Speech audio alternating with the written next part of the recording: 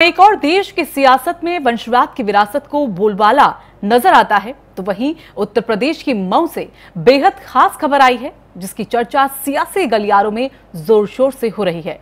दरअसल बीजेपी ने उत्तर प्रदेश के मऊ की घोसी सीट पर सब्ज़ी बेचने वाले के बेटे को प्रत्याशी बनाया है। यूपी में 21 अक्टूबर को होने वाले उपचुनाव के लिए बीजेपी ने 10 कैंडिडेट की लिस्ट जारी की है, जिसमें घोसी विधानसभा सीट से बीजेपी ने फुटपाथ पर सब्ज़ी बेचने वाले के बेटे विजय राजभर को उम्मीदवार बनाया।